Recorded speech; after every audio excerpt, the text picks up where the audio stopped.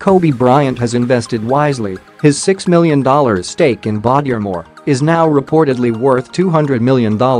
Bryant, 39, began investing in the company in March 2014.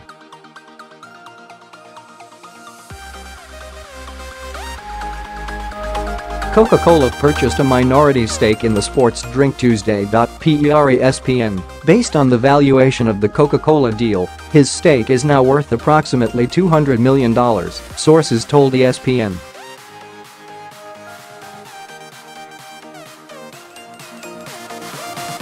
Bryant is now the fourth largest investor in the brand, marketed as a healthier competitor to Gatorade, behind the brand's co-founder Mike Repole, Coca-Cola and Keurig Dry Pepper.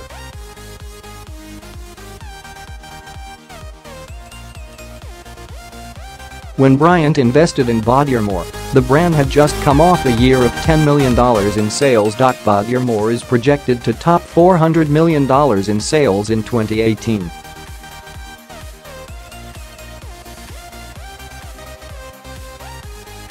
Bryant, who earned $328 million on the court in his 20-year NBA career and a similar amount off of it over that time, announced his investment in Bodyarmor on the same day he announced the start of his new company, Kobe Incorporated.